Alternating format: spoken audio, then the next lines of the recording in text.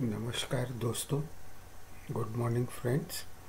मैं आज आप लोगों को मैकेनिक्स सब्जेक्ट से परिचित कराऊँगा जिसको हिंदी में यांत्रिकी कहते हैं।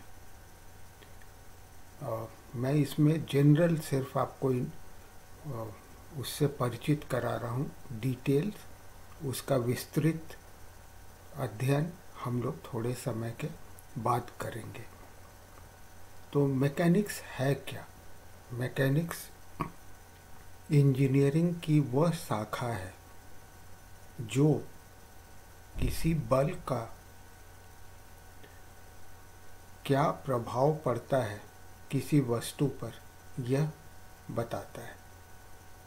ठीक है? मतलब यहाँ पे बल और प्रभाव वस्तु पर प्रभाव, इसी पे हम लोग पढ़ते हैं। जैसे, अगर मैं किसी चीज़ को धक्का दूँ तो क्या होगा? जिधर मैं धक्का दे रहा हूँ, उधर वो चीज़ चलनी शुरू हो जाएगी। ठीक है? तो यही क्या असर पड़ता है, यही हम लोग इसमें सीखते हैं। अब यहाँ पे थोड़ा और आपको आगे बता दूँ कि वस्तु क्या हो सकता है। सॉलिड भी हो सकता है, लिक्विड भी हो सकता है, गैस भी हो सकता है है ना? तो बहुत तरह के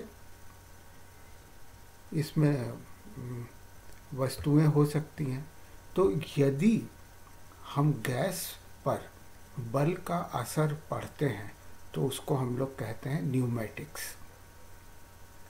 यदि हम लिक्विड पर लिक्विड मतलब द्रव द्रव पर अगर हम उसका असर पड़ते हैं तो हम लोग उसको कहते हैं हाइड्रोस्टैटिक्स या हाइड्रोलिक्स ठीक है?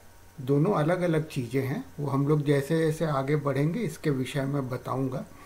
लेकिन अभी फ़िलहाल ये जो सब्जेक्ट है हाइड्रोलिक या हाइड्रोस्टैटिक ऐसे वस्तुओं पर असर का, बल का असर हम लोग पढ़ते हैं, जो द्रव अवस्था में है। ठीक है? यदि हम सॉलिड पर सॉलिड या मैं यहाँ पे जितने शब्द हैं, वो अंग्रेज़ी के यूज़ करूँगा, लेकिन आपको बताऊँगा हिंदी में। ठीक है? तो सॉलिड जो वस्तु पर अगर बल का असर पढ़ पढ़ रहे हैं हम लोग तो इसको कहते हैं मैकेनिक्स ठीक है? अब मैकेनिक्स में भी, अब दो चीज़ें हैं। वस्तु जो है वह। रिजिड हो सकता है। रिजिड मतलब अनम्य या इलास्टिक हो सकता है मतलब नम्य। ठीक है? तो यदि हम इलास्टिक वस्तु पर असर पढ़ रहे हैं तो उसको कहते हैं स्ट्रेंथ ऑफ़ मटेरियल अब मैं ये उम्मीद करता हूँ कि आपको पता है कि इलास्टिक बॉडी क्या है? इलास्टिक बॉडी वह वह है जिस पर यदि आपने बल लगाया है तो वस्तु में विकृति पैदा होगी या उसकी लंबाई बढ़ जाएगी, चौड़ाई बढ़ जाएगी चपटा हो जाएगा। इस तरह का जो भी परिवर्तन उसमें कुछ न कुछ होगा। लेकिन जैसे ही हम बल को हटाएँगे, या जो भी कारक है उसका, उसको हम जैसे ही हटाएँगे, वो फिर से वापस अपनी पुरानी अवस्था में आ जाएगा। तो ऐसे वस्तुओं को हम कहेंगे इलास्टिक बॉडी ठीक है? दूसरा हुआ आपका रिजिड बॉडी या अनम्य बॉडी तो अनम्य बॉडी वह है जिस पर बल लगाएँगे लेकिन उसमें कोई भी विकृति पैदा नहीं होगी। उसकी साइज़ में कोई भी परिवर्तन नहीं होगा। आकार में कोई भी परिवर्तन नहीं होगा। उसको हम कहेंगे रिजिड बॉडी ठीक है? तो जैसा मैंने बताया कि इलास्टिक बॉडी हो सकती है। उसका, उस पर असर की पढ़ाई हम लोग करते हैं स्ट्रेंथ ऑफ़ मटेरियल में। मैकेनिक्स में हम लोग रिजिड बॉडी के ऊपर बल का क्या असर पड़ रहा है या फोर्स का क्या असर पड़ रहा है, ये हम लोग पढ़ते हैं। ठीक है? तो अभी हम लोग जो भी पढ़ेंगे, वो सब रिजिड बॉडी के ऊपर हम लोग पढ़ेंगे। अब ठीक है? बल हमने लगा दिया। तो दो चीज़ें हो सकती हैं। जैसे मैंने दीवार को पुश किया, धक्का दिया। तो क्या होगा? दीवार हिलेगा नहीं। लेकिन ऐसा तो नहीं है कि हमने उस पर बल नहीं लगाया। ठीक है? दूसरा हो सकता है, अगर दीवार कमज़ोर है, मैंने बल लगाया तो दीवार टूट गई। ठीक है? तो दो चीज़ें हो सकती हैं। तो दीवार अगर नहीं टूटी, उसका मतलब वो स्थिर अवस्था में है।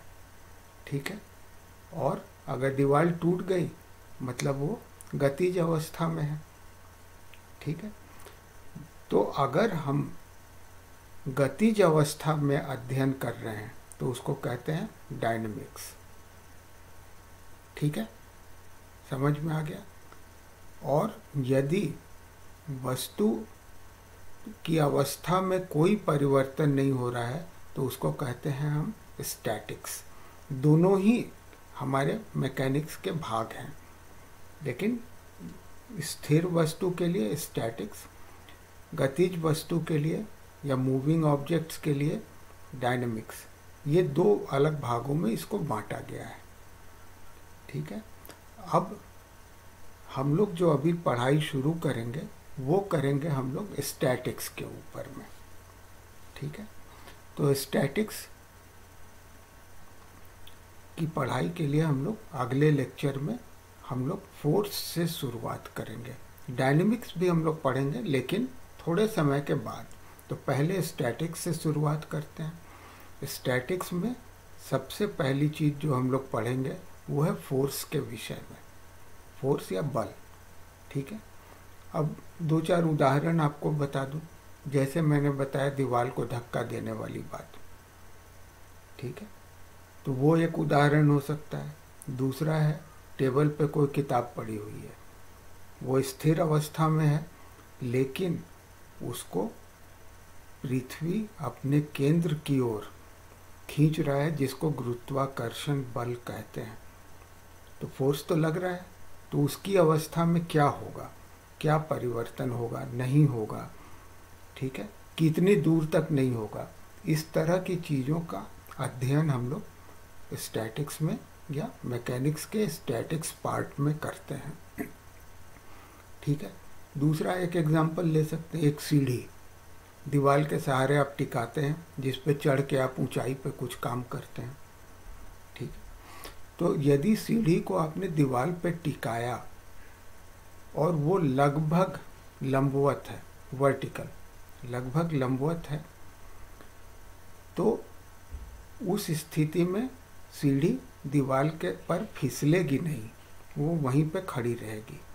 ठीक है? लेकिन उसमें भी बहुत सारी चीज़ें हैं जिनका अध्ययन हम करेंगे, जैसे घर्षण बल या फ्रिक्शनल फोर्स कितना है, सीढ़ी की लंबाई कितनी है, उसका वज़न कितना है, उस पर कितने वज़न का आदमी चढ़ रहा है, ये सब चीज़ों पर निर्भर करेगा कि वो फिसलेगी कि नहीं फिसलेगी।